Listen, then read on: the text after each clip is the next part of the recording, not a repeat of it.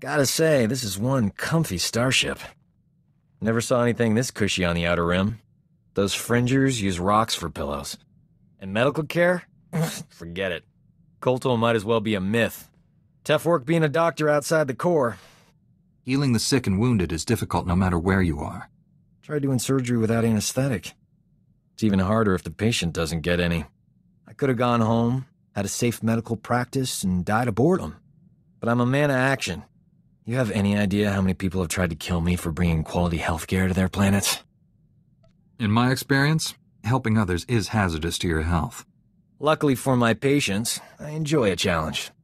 The frontier worlds are crawling with pirates, gangsters, and tax collectors. But they're no match for old Doc. Not everyone needs a laser sword and mind tricks to get out of a tight spot.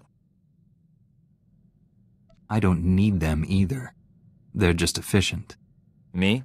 I rely on superior intellect and natural charm. It works every time.